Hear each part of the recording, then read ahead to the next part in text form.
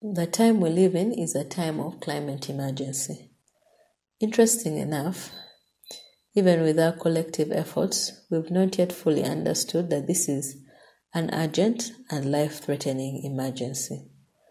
The bottom line is if we do not take dramatic action as soon as yesterday, the damage to the world and society will be irrevocable. Therefore, the climate emergency is something that we need to constantly think about and be deliberate on how we respond, just like we did for the COVID 19 pandemic. My name is Ssanyu Kaganzi, the Chief Executive Officer at Asset Business Solutions, and I am privileged and honored to be presenting to you on the topic of climate emergency response strategies in the East African region. This is what we'll be looking at in this session. We'll have an introduction, then I'll talk about climate change in East Africa, the current response to climate change, the role of asset management, strategies implemented elsewhere, regional considerations, and then we shall conclude. How would we define the climate emergency?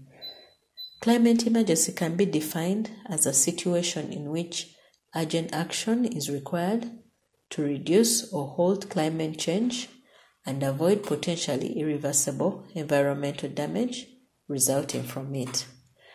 Right there in the picture, we have a climate emergency banner that is hung between trees. This was a makeshift um, camp in uh, in Wales during a protest, a climate change protest. And the outcry was we need to act now.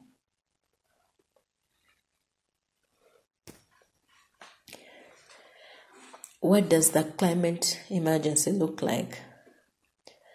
Right there was a um, right there is a climate protester in Wales holding a banner with the words report on the climate crisis like a report on coronavirus. It is very important to understand that the climate crisis is just in the same category like the coronavirus. And it is very important that we we report on the climate emergency just like we did on the coronavirus. And that was the outcry for this climate protester in Wales.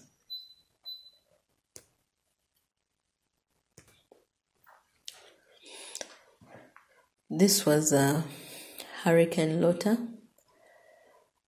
and it left approximately 15 uh, fatalities.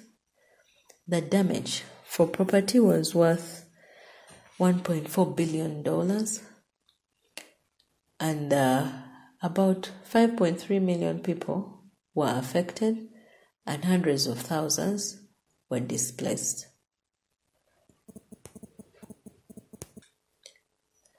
Um, let us look at some climate emergency facts. One, climate change is real and human activities are the main cause.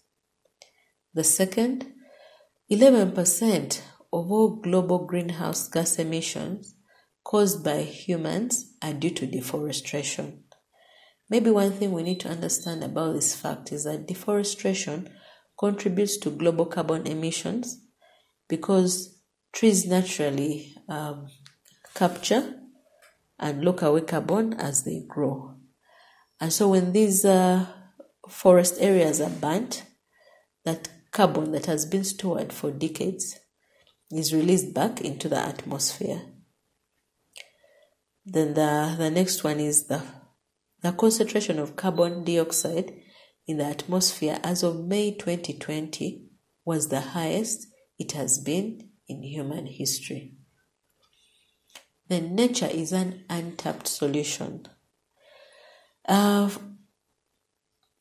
regarding this particular fact, we need to understand that tropical forests are incredibly effective at storing carbon which would provide at least a third of the mitigation action needed to prevent uh, the worst climate change scenarios. However, nature based solutions right now receive only 3% of all climate funding. So, this is something that we need to think about. The other fact is that 2019 was the second warmest year on record with average global temperatures of 1.8 degrees Fahrenheit. Then countries are not on track to fulfill the promises they have made regarding the Paris Agreement commitments. And finally, climate change and the threat of related extreme conditions like flood and droughts have major implications for development, particularly in developing countries. So, what is the situation in East Africa regarding climate change? Uh, one thing we need to know is that the growing international movement of youngsters demanding action on climate change has taken root in our region as well. Right there in the picture is a young lady who coordinated the global school strike for climate in Kampala, Uganda. And this is after she had realized that her family were victims of climate change. This picture shows a flood that happened in Rwanda due to heavy rains.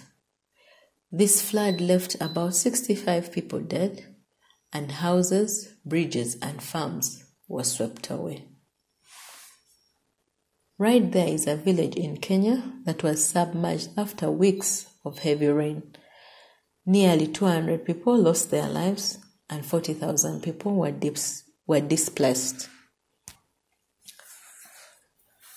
Last year, the East African region experienced a locust infestation, and this was believed to be the worst in the, in the last 70 years.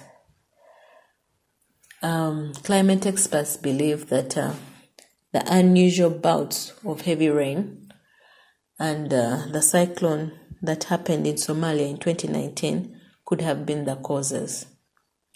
But also, it's believed because of uh, the warmer seasons due to climate change generate more cyclones, which provide uh, perfect breeding grounds for locusts.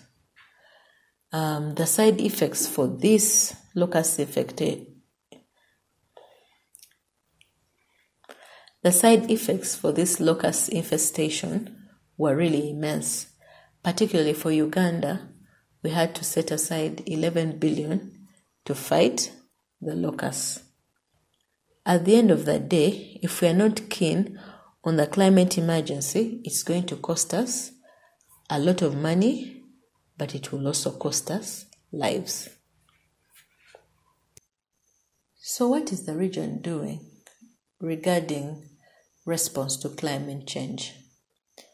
Uh, one of the things is that uh, the East African partner states, out of growing concern for the increasing threats of climate change impact, developed an East African Community Climate Change Policy Framework, a strategy and master plan to guide them and other stakeholders on the preparation and implementation of collective measures to address climate change in the region. Uh, in addition to this, there were a number of projects that were initiated with the aid of the World Bank in a bid to in a bid to curb the climate emergency. And one of these is the climate smart agriculture, which uh, sustainably increases productivity, resilience, reduces and reduces or removes greenhouse gases but also it enhances achievement of the national food security and development goals. And uh, this was particularly because uh, agriculture is the backbone of the East African region. Another thing that um, the East African states uh, have done is to go ahead and develop national development programs of action to climate change and these provide a process to identify priority uh, activities that respond to their urgent and immediate needs to adapt to climate change. And uh, these were focusing on activities that, in case there is further delay, there would be increase in the vulnerability or costs at a later stage. The East African partner states, again, as part of their global commitment to fight the climate emergency by reducing the greenhouse gas emissions, went ahead to sign the Paris Agreement, and each of the states developed and endorsed their nationally determined contributions, and these are reviewed often to ensure they are on track. Now let us look at the case for Uganda, and we'll just uh, we'll just uh, talk about uh, some of the government initiatives. So Uganda has a national climate policy, and this basically offers a long-term vision for Uganda's climate change mitigation and adaptation plans in all sectors of the economy. Uh, in addition to this, they've gone ahead to create a, a climate uh, change department, a policy committee on environment, uh, the National Climate Change Commission, National Climate Change Advisory Committee, and a Parliament Forum on Climate Change. And their main role is, is to ensure that this policy, the National Climate Change Policy, is well implemented. But then, regarding uh, asset management, the government of Uganda has gone ahead to develop an asset management framework and guidelines to ensure sound and efficient management and control of its assets throughout the asset life cycle. And in this uh, framework, there is emphasis on incorporating climate change in every aspect of asset management. However, one of the challenges they have faces the fact that the role of asset management in the delivery of public services is not adequately appreciated and supported by stakeholders, including uh, the people in charge of assets. And as a result, enforcement and compliance with the legal and regu- regulatory framework for asset management remains a major challenge. Now, let us look at some of the private sector initiatives in regards to responding to climate change. Um, one of them is uh, the TASA, TASA Obutonde campaign. Uh, some organizations working together with the Environment Management Authority, launched the TASA Obutonde campaign, and this campaign was geared towards safe disposal of plastics. And TASA Obutonde means save the environment. And the focus of this campaign is to educate Ugandans on the fact that the environment is our responsibility and therefore we must take care of it by being keen on how we dispose plastics. Uh, another initiative is uh, a particular organization in the energy sector has focused on using concrete poles as opposed to wooden poles. This strategy does save the environment since this means there is reduction in tree cutting.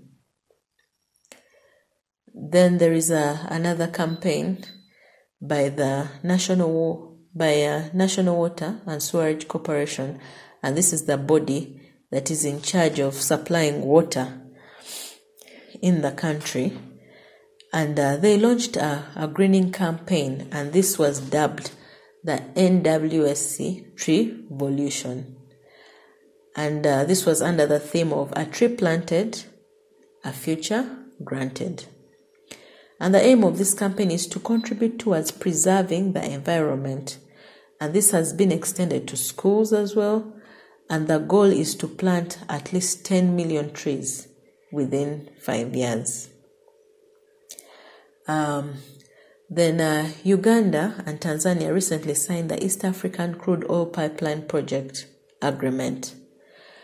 And uh, the East African Crude Oil pi- Pipeline will transport oil from Uganda to Tanzania.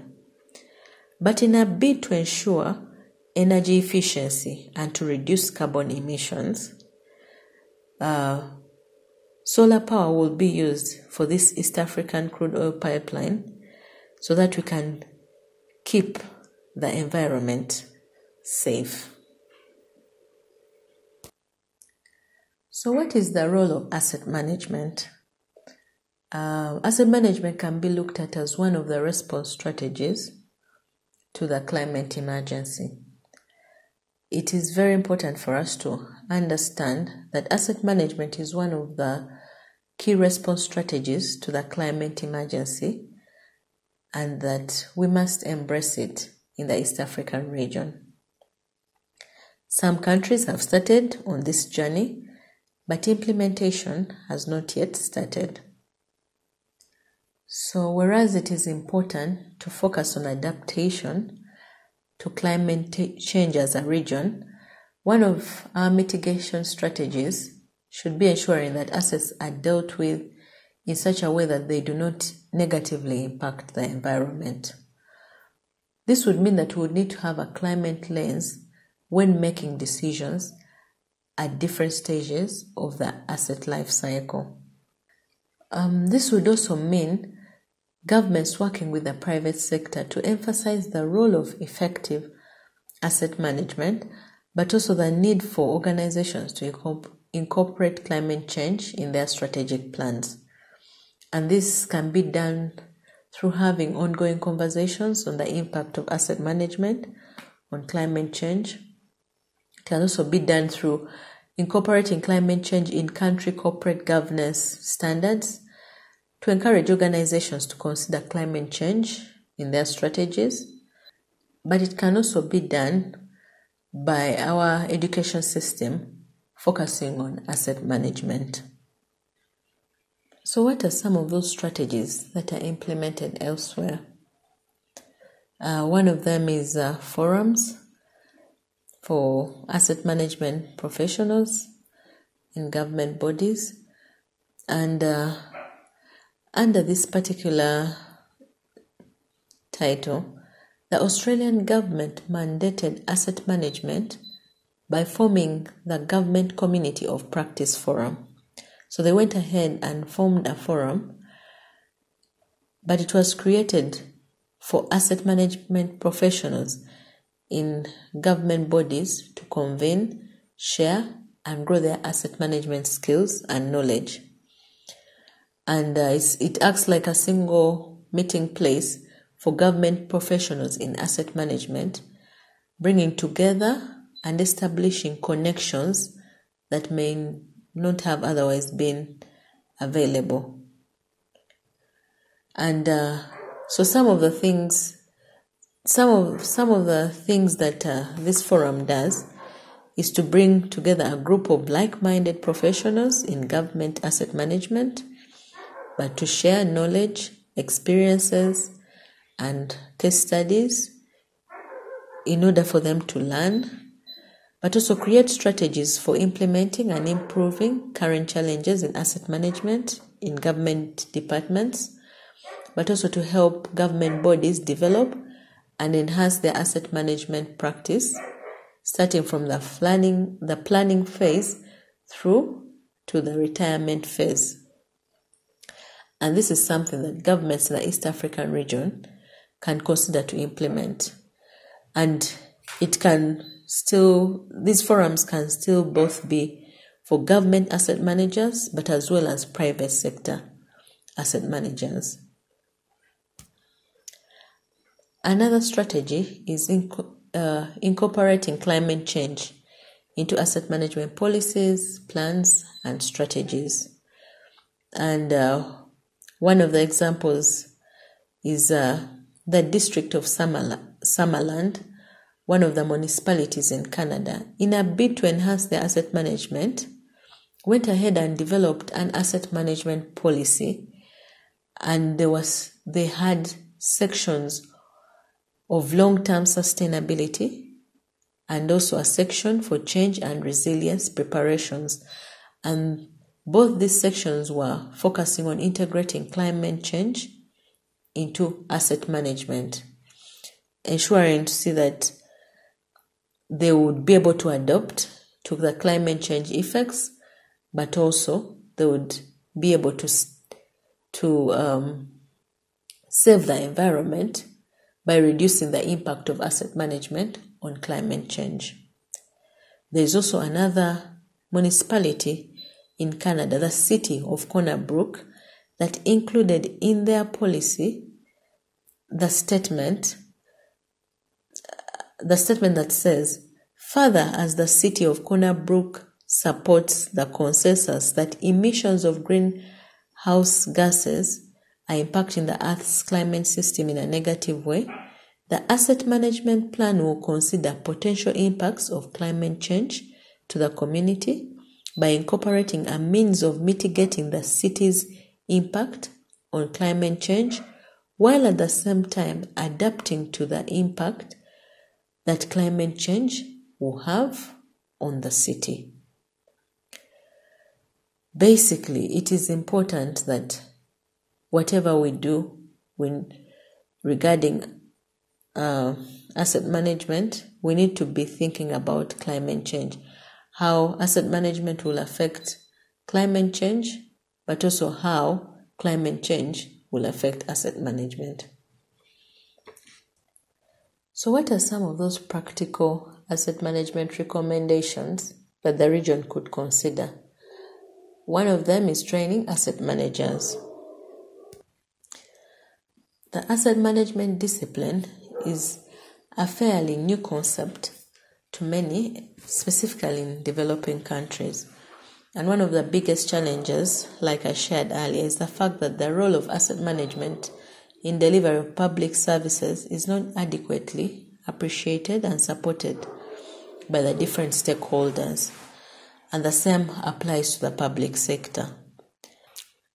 In light of this, it is important that the region takes initiative in equipping asset managers through trainings, through attending conferences like this one, but also through forums where asset managers can meet and talk about asset management and climate change. This is very important because without building capacity, every effort to enhance the asset management discipline with the planet in mind may most probably be a waste of time. Uh, another recommendation would be collaborations for asset management professionals and key stakeholders. Now that we, as asset management professionals, understand the impact that asset management can have on climate change, it is important that we reach out to government, but also to the private sector to begin sustainable conversations on asset management, which can enhance collaborations regarding the climate emergency. In conclusion, the call to action would be that uh, asset managers need to be proactive and engage the key stakeholders, but also we need to build an army of asset managers through training, but also we need to create spaces that allow conversations on asset management and climate change to happen. Thank you very much.